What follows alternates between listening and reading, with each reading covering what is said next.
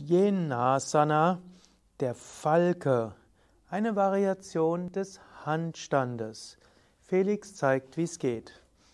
Von der knienden oder stehenden Stellung ausgehend, gib die Hände fest auf den Boden und dann hebe ein Bein nach dem anderen hoch, bis du im Handstand bist.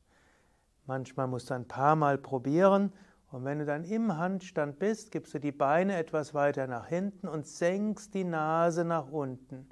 Und wenn du die Nase fast auf dem Boden hast, dann ist das Syenasana, der Falke.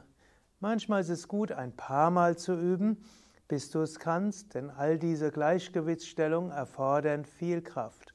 Das ist jetzt Shenasana, die Nase Richtung Boden und dann langsam wieder hochkommen.